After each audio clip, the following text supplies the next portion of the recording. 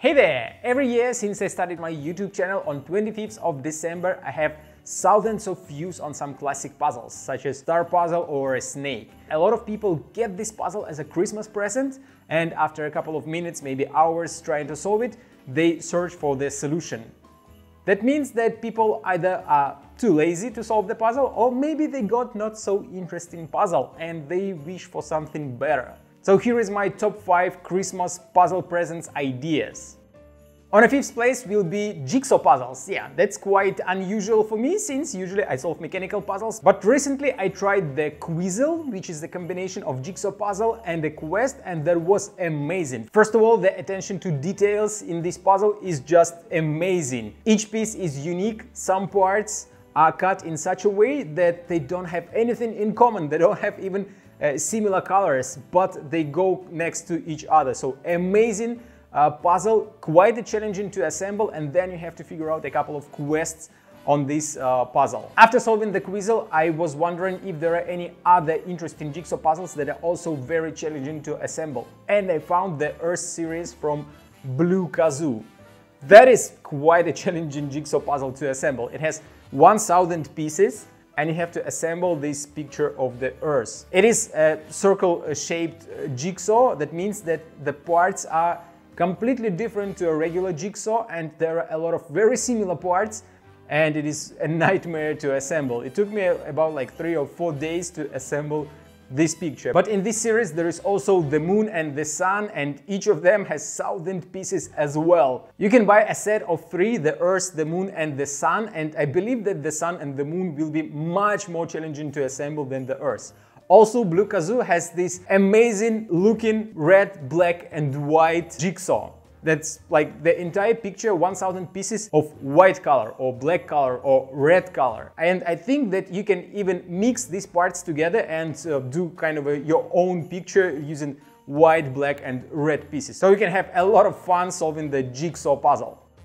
On the first place, I have the Mondrian blocks. It's an amazing puzzle with multiple challenges.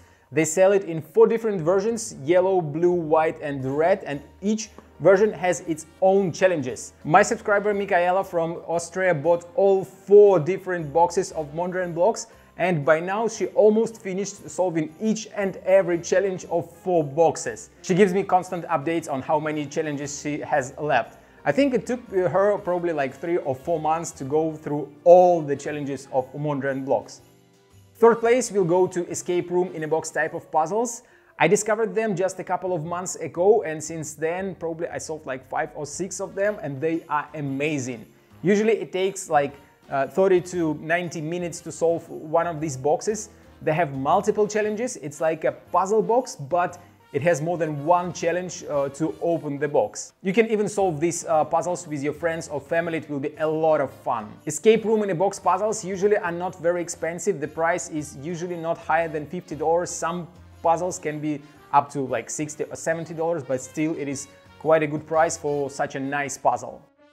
The second place goes to Hanayama Puzzles. They have a huge range of puzzles from level 1 to level 6 where the level 1 is the easiest one and level 6 is the extremely difficult puzzles that takes hours, maybe even days to solve.